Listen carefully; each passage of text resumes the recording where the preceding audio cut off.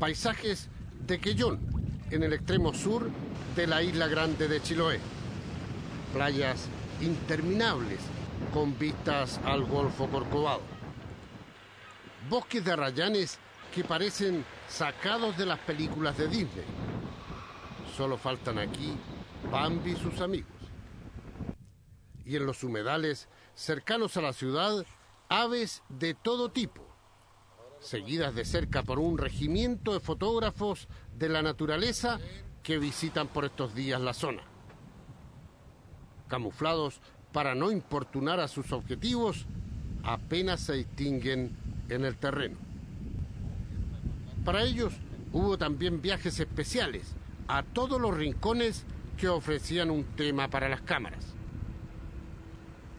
Y lo más importante, con apoyo del municipio queyonino, las comunidades huilliches de Yaldad, incorporadas a la red de turismo rural, organizaron el primer festival del Trauco. El famoso personaje mitológico se hizo carne esta vez entre los centenares de visitantes.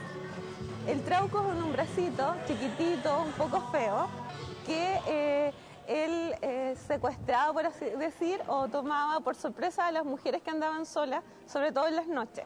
¿Y todavía existe el trauco por acá, no? Sí, todavía bastante. Por supuesto, en el Festival del Trauco no podía faltar un curante. Y se hizo como corresponde. En hoyo, sobre piedras calientes, con milcados y chapaleras. Una hora al menos demora el curanto en coser. Entonces, hay tiempo para terminar una curiosa pelota de quilinejas y otras fibras vegetales.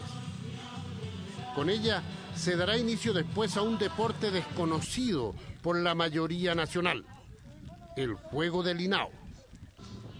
La cancha se marca con ramas de canelo, porque lo practica solo el pueblo huilliche, que integra por igual a hombres y mujeres a la competencia.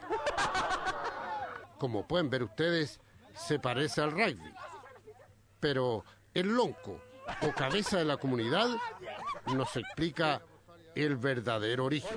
Nacen cuando de los pescadores, de nuestros ancestrales pescadores. Cuando se echa a perder el mar, ellos tienen que esperar a que amaine el mar.